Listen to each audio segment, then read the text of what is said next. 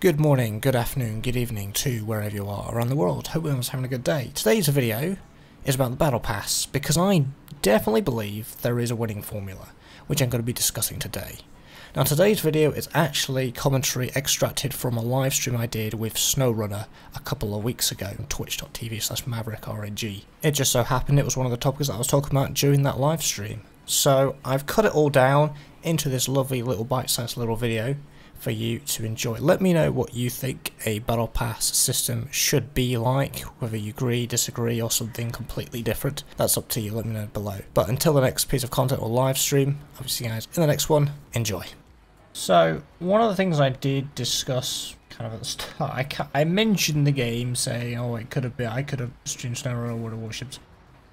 I added on Apex Legends as well, because I have gone back to it this week because of a particular update that came through, which was the Spellbound update. Basically, controls maybe come back, and even when control finishes, I'll still continue to grind that battle pass, uh, which is really good.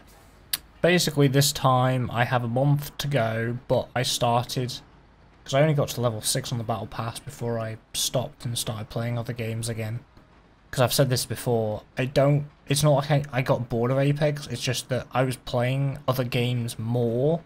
The thing is, Apex Legends to me does the best battle pass, and there's not many other battle passes that replicate the correct winning formula for a battle pass that doesn't make people too mad. So Apex puts in the effort to put in some nice skins and a, a variety of aspects that you can obtain. There's, you know, there's poses, there's banners, there's there's skins, etc. Right? All throughout the Battle Pass, free and premium. That's standard for any game, right? And you also get Apex coins, which is what you use to pay for said Battle Pass. Now bear in mind, it's 950 coins for a battle pass, which if you bought coins, it's around 8 quid. So that's 8 quid every few months for, what is it? It is a couple of months, is it? Is each season, is it? It's like 80 days or something, isn't it? Although it's quite worth it, the great, the, the one winning formula that really does it is one, the fact that the coins you get in the premium battle pass just means you can buy the next season as long as you played and dedicate yourself for that season. I mean, I have only had to buy the battle pass two, three times. I've been in maybe six, seven seasons, maybe, that I've completed.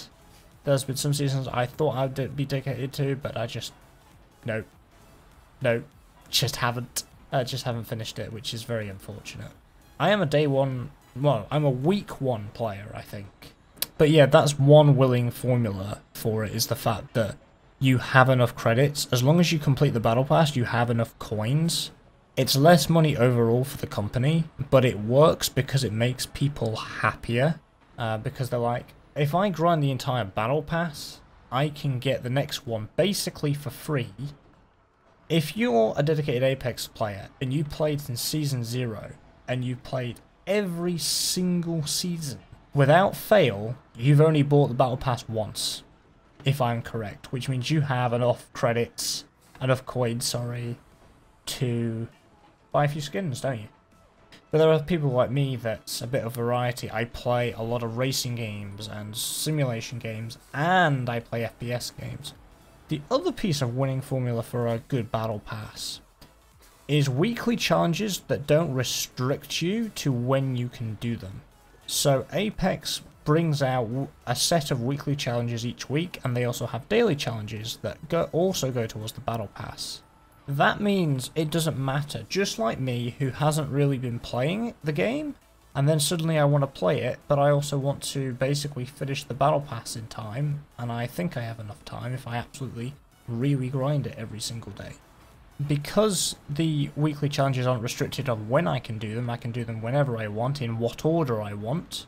But yeah, those are the two winning formulas in my books for a really good battle pass. Obviously, really, when I when I look at a battle pass, I think, is there anything there that's worth it for me? you know, is are the skins good? Is is the gun skin at the end? Because Apex always do a gun, a really nice legendary gun skin at the end. Is it a gun that I I use and I like and I'm fairly good at at my kind of skill level? But most why do I enjoy playing playing with the gun? Really?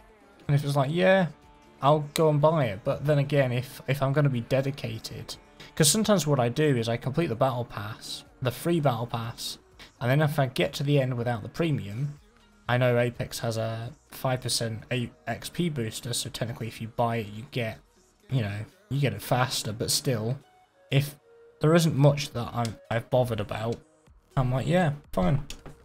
Battlefield I'm not sure because I am one of the few people that pre-ordered Battlefield Gold Edition and I didn't realise that we get the first four seasons free. The Battle Pass is free for us for the first like four seasons and I've only started playing in Season 3, so I'm swapping between Apex and Battlefield right now, because I want to get all that stuff done.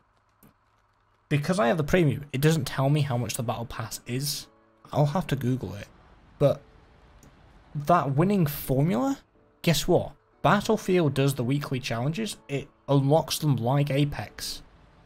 You can unlock them whenever you want. I don't think they have dailies though. That's the only thing they don't have. They don't have dailies, but they just have the weeklies but you can do them whenever you want. And they're pretty, fairly straightforward to do. And because XP is a lot of it, you know, you do a full game of Conquest, it's absolutely brilliant. So that every time there's a battle pass, I'm like, if it has those two winning formulas, then great. That's a battle pass that I can get behind.